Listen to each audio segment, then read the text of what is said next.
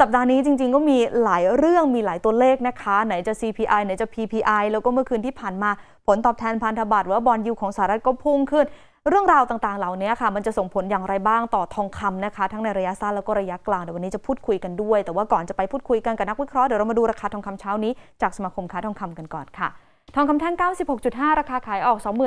28,650 รับซื้อ 28,550 ทองรูปพรรณนะคะขายออก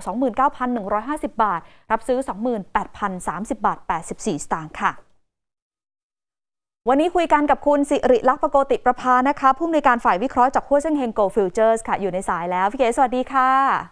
สวัสดีค่ะ คุณแพรวค่ะ ดูเหมือนว่าสัปดาห์นี้มีหลายประเด็นเลยนะคะ ทั้งเงินเฟ้อนะคะ ทั้งการขึ้นดอกเบี้ยของเฟด Goldman Sachs ออกมาบอกว่า โอ้โห จะขึ้นสี่ครั้ง bond yield ค่ะก็พุ่ง แล้วเดี๋ยวจะมี CPI มี PPI อีกอืมปัจจัยต่างๆ เหล่านี้ค่ะ มันจะส่งผลอย่างไรบ้างคะต่อทองคำใช่ ฟังดูเหมือนมีปัจจัยลบทั้งนั้นเลย ที่ค่ะคุณแพรวพูดมานะคะคือจริง ๆ ทองคำอาจจะเห็นเอ๊ะเมื่อคืนขึ้นมาได้ แล้ววันนี้ก็ขึ้นต่อนะคะ คือประเด็นที่ทำให้ทองขึ้นอาจจะต่อที่อเมริกาเมื่อคืนปรับตัวลงนะคะก็เลยทำให้ทองขึ้นเนี่ย ถามว่าจะขึ้นไปได้ไกลไหมก็อาจจะมีกรอบที่จำกัดนะคะ เพราะปัจจัยลบก็มีอยู่ค่ะตัวบอลยูสอเมริกาอายุสิบปีเนี่ย ต้องบอกว่าเพิ่มขึ้นอย่างรวดเร็วมาก ตอนต้นปีเนี่ย 1.55เปอร์เซ็นแล้วก็มาแตะ 1.8เปอร์เซ็นภายในแค่อาทิตย์กว่าๆ ตรงนี้สะท้อนให้เห็นว่านักลงทุนกังวลแล้วว่าเฟดจะเร่งปรับดอกเบี้ยนะครับซึ่งจริงๆ ความเห็นของพี่เกดก็สอดคล้องกับโพลมันแซกว่าเป็นไปได้เหมือนกันว่าเฟดขึ้นอัตราดอกเบี้ยปีนี้สี่ครั้ง เพราะว่าจะขึ้นดอกเบี้ยครั้งแรกน่าจะเป็นเดือนมีนาคมหลังจากที่เฟดยุติมาตรการ QE ไปแล้วค่ะนะคะ ส่วนประเด็นเรื่องอัตราเงินเฟ้อนะคะ ก่อนจะอัตราเงินเฟ้อเนี่ยจริงๆคืนนี้สี่ทุ่มเนี่ยประธานเฟดจะแถลงต่อวุฒิสภาสหรัฐอเมริกาด้วยอืมคือเป็นการแถลงในฐานะที่เอ่อดำรงตำแหน่งประธานเฟดเป็นสมัยที่สองนะคะค่ะก็อาจจะเสนอวุฒิสภามีการซักถามคือไม่แน่ใจว่าจะมีการพูดถึงเรื่องนโยบายการเงินของเฟดในอนาคตหรือเปล่านะอันนี้ อันนี้ต้องต้องยอมรับว่าไม่แน่ใจและไม่แน่ใจว่าจะมีข่าวออกมาหรือเปล่านะคะ เพราะว่าเอ่อ ทานครั้งเนี้ยอาจจะเอ่อพูดถึงแค่กว้างๆ จริงๆ สิ่งสิ่งที่นักลงทุน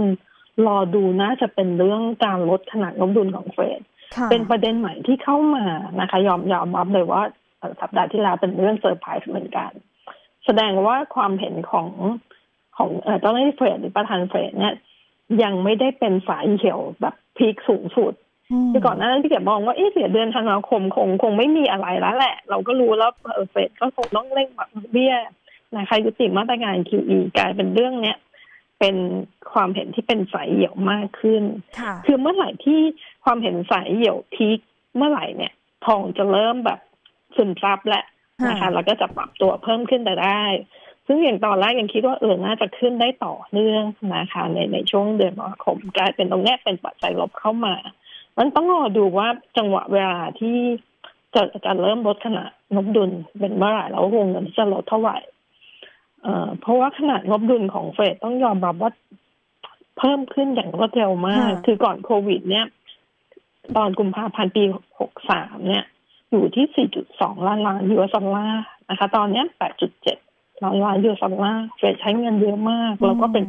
ประเด็นหนึ่งที่ทำให้เกิดปัญหาเงินเฟ้อด้วยค่ะนะคะเราว่าไอ้เงินเฟ้อมาจากหลายสาเหตุนี่ก็ใช่จากเรื่องภาวะติดขัดของตัว supply chain เรื่องสินค้าโภคภัณฑ์ที่เพิ่มขึ้น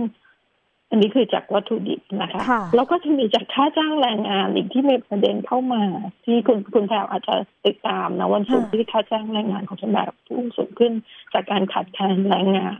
นะคะ มันเป็นปัจจัยที่เร่งเข้ามาเพราะฉะนั้นทำให้เฟดจะต้องคุมเข้มมาตรการเงินซึ่งก็เลยทำให้มองว่าทองมีกรอบที่จำกัดที่ปรับตัวเพิ่มขึ้นนะคะอ่าไปได้เต็มที่เท่าไหร่คิดว่าเต็มที่คงพันแปดร้อยสามสิบดอลลาร์แข็งแกร่งนะคะแนวต้านตรงนี้